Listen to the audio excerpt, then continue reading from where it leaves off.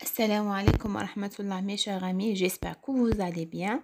Le cours d'aujourd'hui, Inch'Allah, c'est le dosage de cholestérol total.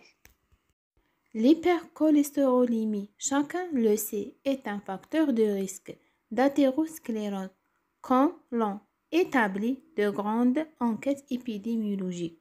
Le dosage de cholestérol est fait dans le cadre de l'exploration d'une anomalie lipidique.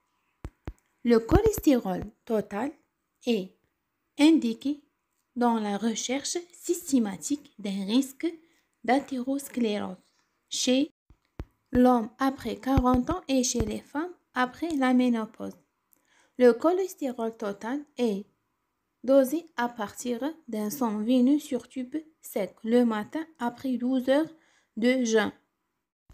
Il faut bien s'assurer que le patient est à jeûne. La valeur normale de cholestérol total, elle dépend de l'âge.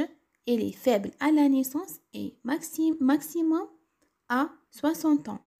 Et du sexe, plus basse chez la femme. La valeur normale chez l'adulte est inférieure à 2 grammes par litre.